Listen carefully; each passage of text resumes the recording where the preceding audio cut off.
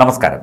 Kalamassery bomb സ്ഫോടനം നടത്തിയത് താനാണെന്ന് കേസുമായി ബന്ധപ്പെട്ട് തൃശൂർ കൊട്ടകര പോലീസ് സ്റ്റേഷനിൽ കീഴടങ്ങിയ വ്യക്തി ഡൊമിനിക് മാർട്ടിൻ പറയുന്നു. കീഴടങ്ങുന്നതിന് തൊട്ടുമുൻപാണ് അയാൾ വീഡിയോ പുറത്തുവിട്ടത്. ബോംബ് സ്ഫോടനം നടത്താനുണ്ടായ കാരണങ്ങളും ഡൊമിനിക് മാർട്ടിൻ അതിൽ വിശദീകരിക്കുന്നുണ്ട്. ഇയാൾ യഹോവ സാക്ഷികളുടെ പ്രവർത്തകനായിരുന്നു എന്നും പിന്നീട് സഭയുമായി തെറ്റി സഭയുടെ ആശയങ്ങളുമായി യോജിക്കാതെ സഭ രാജ്യദ്രോഹ പ്രവർത്തനമാണ് നടത്തുന്നത് എന്ന വാദം ഉന്നയിച്ചുകൊണ്ടാണ് താൻ ആ സഭയിൽ നിന്ന് മാറി നിൽക്കുന്നത് എന്നും അതിനുള്ള പ്രതികാരമായിട്ടാണ് ഈ ബോംബ് സ്ഫോടനം നടത്തിയത് തുടങ്ങിയ കാര്യങ്ങളാണ് ഡൊമിനിക് മാർട്ടിൻ വീഡിയോയിലൂടെ പങ്കുവയ്ക്കുന്നത്. ഹലോ എന്റെ പേര് മാർട്ടിൻ. ഇപ്പോൾ നടന്നൊരു സംഭവ വികാസം നിങ്ങളെല്ലാവരും അറിഞ്ഞു കാണുമെന്ന് ഞാൻ വിശ്വസിക്കുന്നു.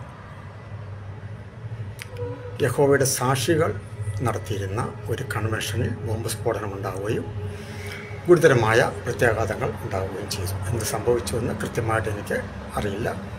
എന്നിരുന്നാലും സംഭവിച്ചിട്ടുണ്ട് എന്നതിൽ ഉറപ്പുണ്ട്.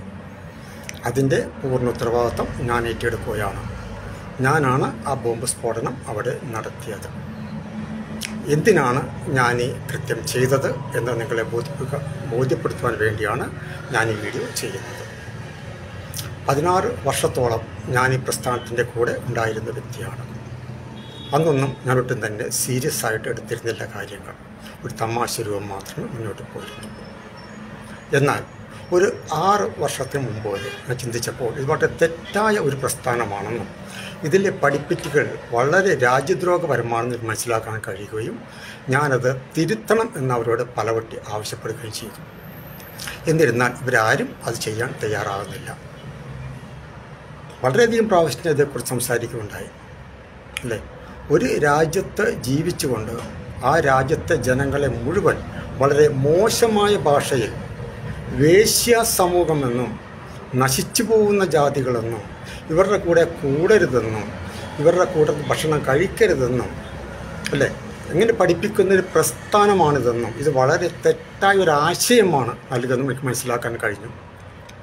നാല് വയസ്സിൽ കുട്ടിയുടെ അടുത്ത് അവർ പറഞ്ഞു വിടുകയാണ് സ്കൂൾ നഴ്സറി കുട്ടിയുടെ അടുത്ത് സഹപാഠി തരുന്നൊരു മിഠായി നീ കഴിക്കരുത്. അല്ലേ? അൻപത് കുട്ടികളുണ്ടെങ്കിൽ നാൽപ്പത്തൊൻപത് പേര് മിഠായി കഴിക്കുമ്പോൾ ഈ ഒരു കുട്ടിയുടെ അവസ്ഥ ആലോചിച്ച് നോക്കും. മാതാപിതാക്കൾ ഇത്ര നാല് വയസ്സ് മുതൽ അതിന്റെ ബ്രെയിനിലോട്ട് ഇത്രമാത്രം പോയിസൺ ഇഞ്ചക്ട് ചെയ്യുന്നത്.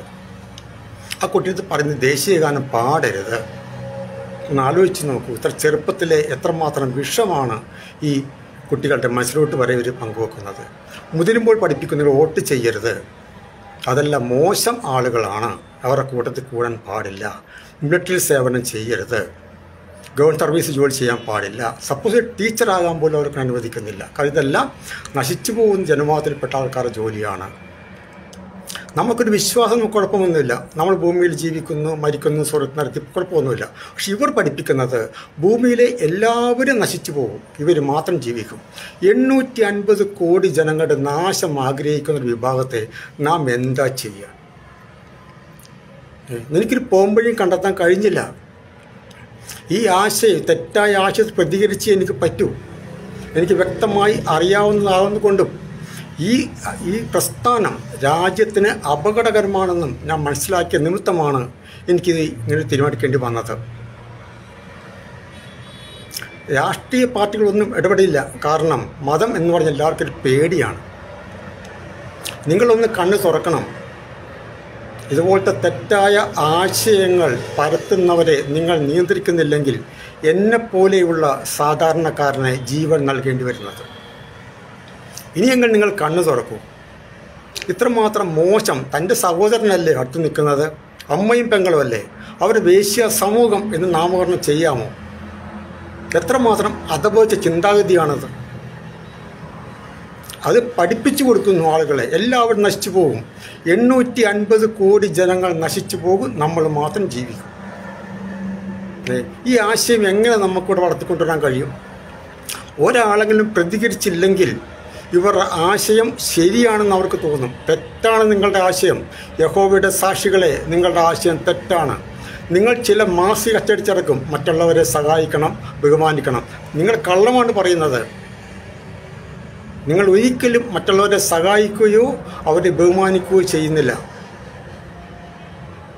ചില ലഘു ലേഖകളിൽ കാണാൻ സാധിക്കും.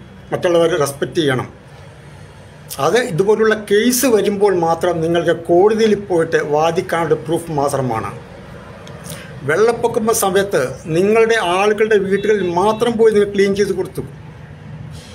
അല്ലേ? ഞാനിത് പോസ്റ്റ് വെച്ചിരുന്നു. എന്റെ പോസ്റ്റ് ഇപ്പോഴും അവിടെ എഫ് എസ് പിയിൽ കിടക്കുന്നുണ്ട്. അല്ലേ? വളരെ ചിന്തിച്ചതിന് ശേഷമാണ് ഞാൻ തിരഞ്ഞെടുത്തിരിക്കുന്നത് ഈ തെറ്റായ ആശയം നമ്മുടെ നാട്ടിൽ അവസാനിപ്പിച്ചേ പറ്റൂ. നിങ്ങൾ എങ്ങനെയും വിശ്വസിച്ചോളൂ. മറ്റുള്ളവർ നശിച്ചു പോകും എന്നുള്ള ചിന്താഗതി ഒരിക്കലും വളർത്താൻ പാടില്ല.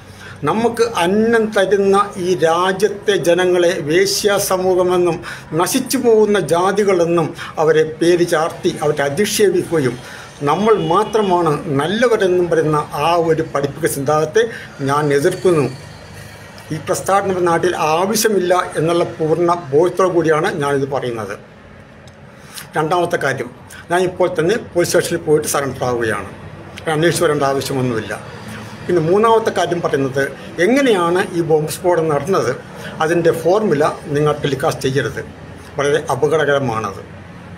സാധാരണക്കാരന്റെ കയ്യിൽ എത്തിപ്പെട്ടാൽ വൈരാഗോ അപകടം സംഭവിക്കും. അതുകൊണ്ട് ഒരു കാരണവശാലും ഒരു മീഡിയയും ഒരു സോഷ്യൽ മീഡിയ ഒന്നും തന്നെ എങ്ങനെയാണ് ഈ സ്ഫോടനം നടത്തിയത് അത് ടെലികാസ്റ്റ് ചെയ്യരുത്. അതിന്റെ മെത്തേഡ് ടെലികാസ്റ്റ് ചെയ്യരുത്.